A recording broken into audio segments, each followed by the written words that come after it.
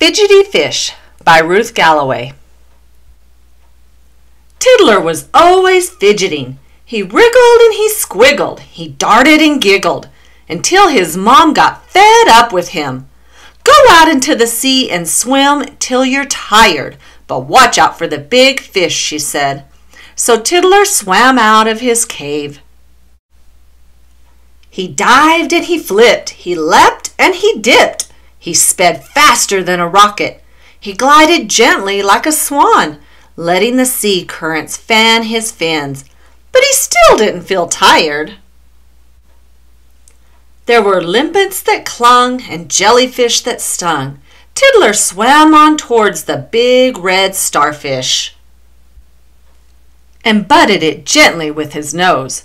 The starfish just smiled. So Tiddler asked the clickety clackety crab to play, but it scuttled off into the seaweed. Tiddler came to a big dark cave. It looked much more exciting than his cave back home, and Tiddler swam in. Snap! Tiddler was trapped inside the big fish.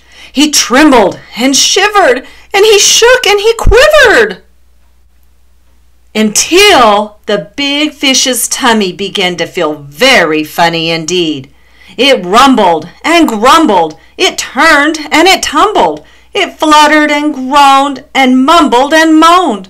Suddenly the big fish did an enormous burp and whoosh!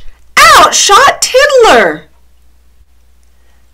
Past the jellyfish and the clickety clackety crab hiding in the weeds, past the starfish, and straight through his own front door. I hope you've used up all that energy, said his mom. But she would have to wait until morning to hear about his adventures because Tiddler was already fast asleep. The end.